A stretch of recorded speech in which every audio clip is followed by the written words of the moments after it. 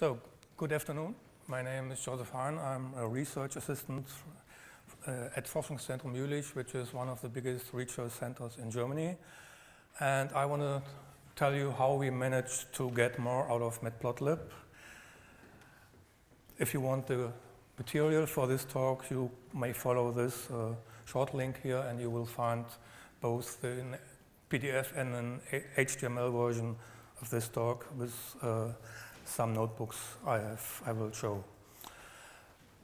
So we all know the scientific stack. Uh, we have heard a lot about Matplotlib, and I think uh, every, every, tutorial uh, we saw the past two days uh, made use of Matplotlib, and it's a de facto standard and the workhorse of uh, the scientific stack.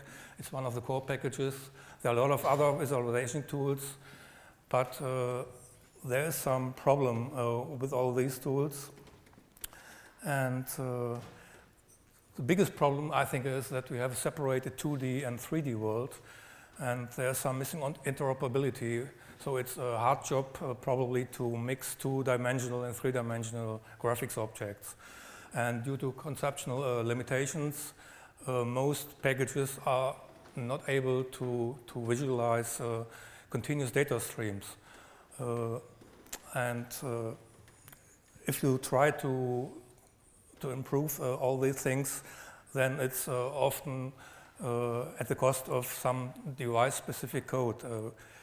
especially for Matplotlib, there's no chance to write such optimizations without getting into the, the back-end specific part. So what was our approach? We uh, want to achieve more graphics performance uh, and we did this by writing a backend, a new backend for Matplotlib.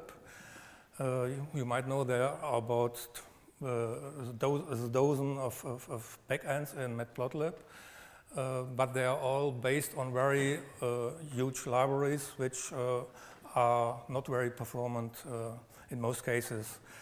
Also, we wanted to extend Matplotlib's capabilities. For example, the 3D part is a little bit bad.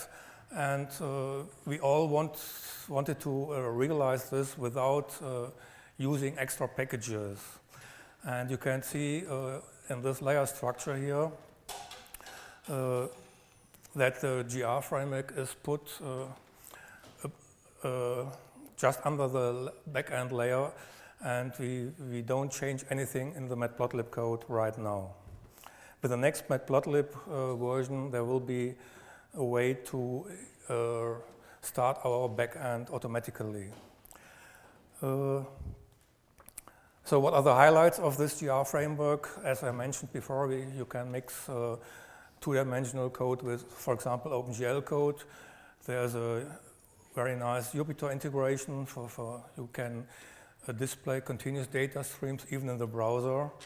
And as opposed to what you saw in the last talk, we are talking about dynamic uh, documents, dynamic data, and uh, I want to show later how we are capable to, to visualize such data sets. We also have a native uh, graphical user interface integration with Qt4, for example, or, or WX widgets, and this gives us interactivity we need for our applications. There's also a very uh, big advantage because we can uh, output to multiple output devices. So as you visualize your uh, scenes on, on a display or whatever, you can also produce uh, PDFs, uh, videos on the fly.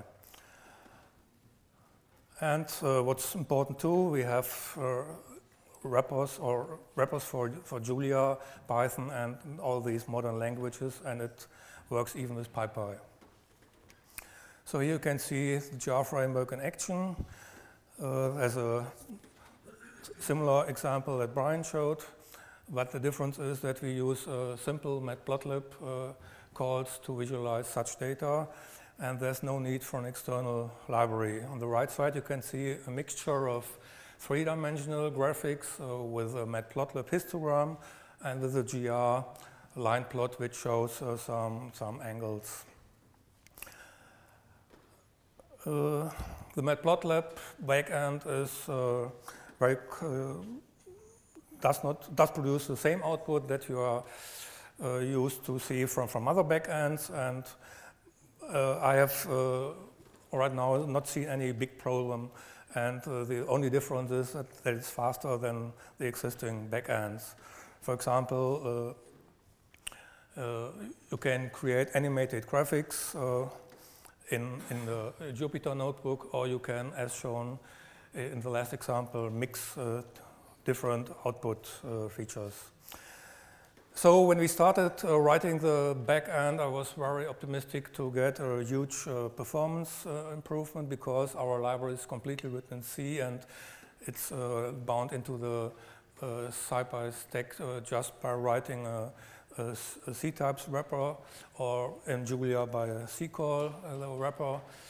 But uh, as you can see in the, left, in the left two bars, we only have a performance improvement of about 50%, and that was a little bit uh, disappointing. And uh, I made some profiling, and at this point, we, I could see that most of the time is not spent on the back end, but in the artist layer, which I showed some uh, slides before. So uh, in principle, there's no room for further optimizations in, on the back-end side. And, uh, but the advantage still is that we have more interoperability. For example, to produce inline graphics, you can see it here on, on, on this slide uh, in Matplotlib. Uh, you have to uh, to, to, to uh, enter some, some macros like matplotlib inline, and there's some there's a command which is not very good documented. It's it's called clear output, and with this command, which is a part of uh, the IPython uh, package, you can uh, produce uh, uh, continuous output in your, in your notebook. I will show it later. Uh, and if you do the similar, similar thing with our framework, you will, you will see that it's 10 times faster. So again, the problem is that the artist layer is much too slow.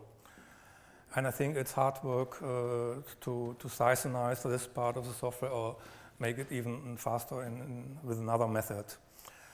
Uh, on this slide, you can see how we can mix different output uh, technologies. you see a code snippet which contains uh, pure matplotlib code. You see a code snippet which uh, uses our GR3 library to draw some molecules. And you see some code which is uh, pure GR code which draws a, a line of the above data. And all these things can be mixed together into one output window and then rendered, for example, as a WebGL scene. So that's very straightforward, and I will show that now in some demos. Uh, there are some things I've prepared. That was not a good idea. Um,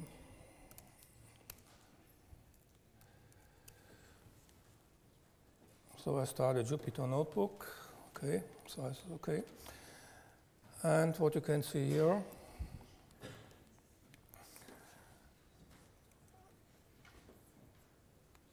is this magical uh, I produce, uh, this is a demo from, from the Matplotlib site, and uh, I produce an MPEG-4 file with an animation callback, which produces uh, this MP4 file, which can be visualized in the browser. That's, but that's very complicated. Uh, I think with a GR framework, you can do the same, the same thing uh, on the fly. Uh, I have to restart the kernel at this point. that's a limitation of Matplotlib because Matplotlib only checks once uh, which uh, backend to use. So now we want to switch uh, to our GR backend. So we run this loop now. Then we can see the video on the fly.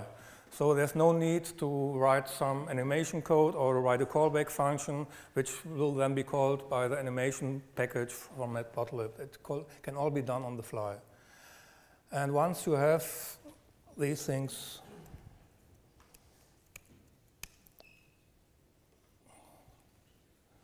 So this is the same with our GR framework. You see you have only, let's say, four statements here, and you can do all these things on the fly. Okay, let's take the next example, which shows how to produce inline graphics. That's the term, okay.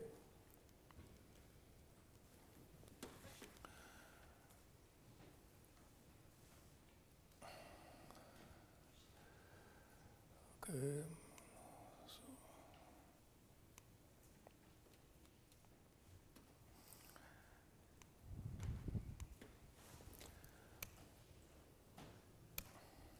So now Matplotlib is directly plotting into the, can in the, into the canvas, into the IPython canvas. So you see it's somehow slow. And in the next example, I will show you that you can speed this up by using our own software. You have to wait, okay? so that's the same sequence with our software. It's I think it's much smoother and uh, it produces faster results. And finally, this would be the result if you produce the graphics with uh, JavaScript. I will tell you later that we have transpiled our complete software into JavaScript. So you can use our library in the browser, which is much faster than uh, the other backends. Okay, I'm running out of time, I think. So let's get into the interoperability example.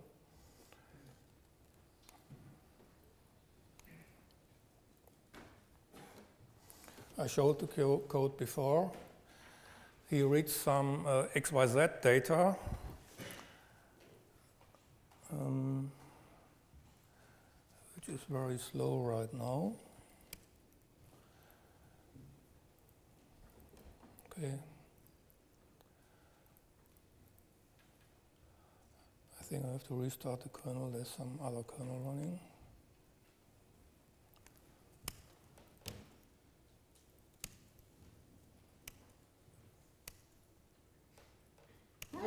So now we have a loop and we render about 100 scenes with a molecule. And once this is rendered, it can be take some time.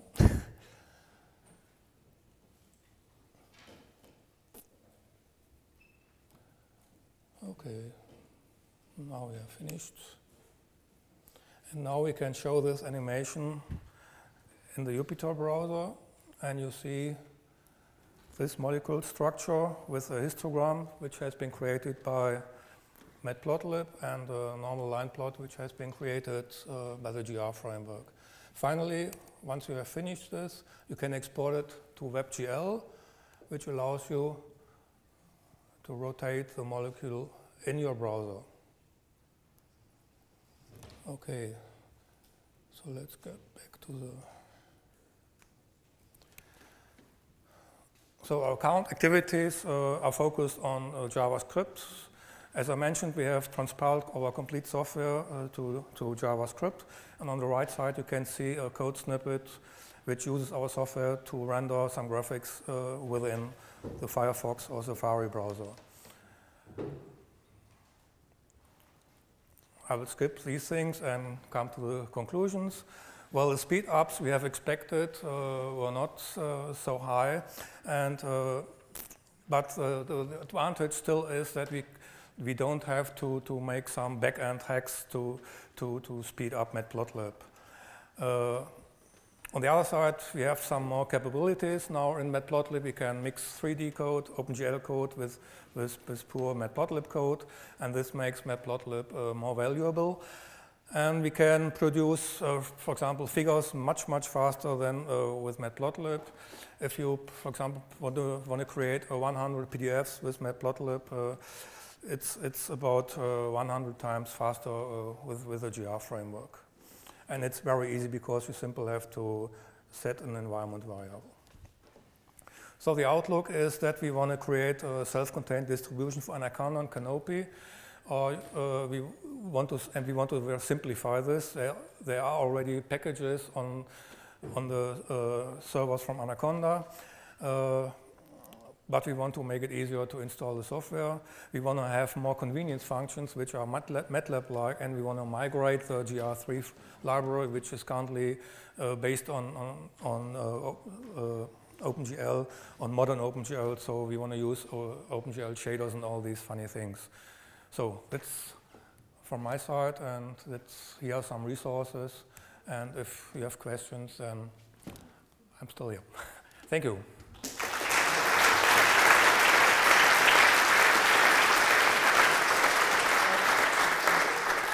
Questions?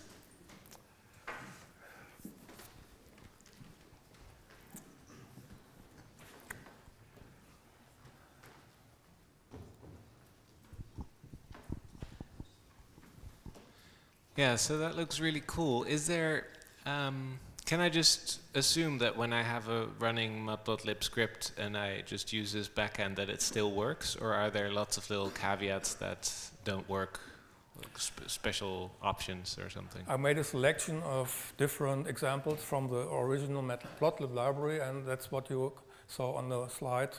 Uh, I didn't see any uh, differences it behaves like a, a matplotlib for GTK or, or, whatever you may think about it.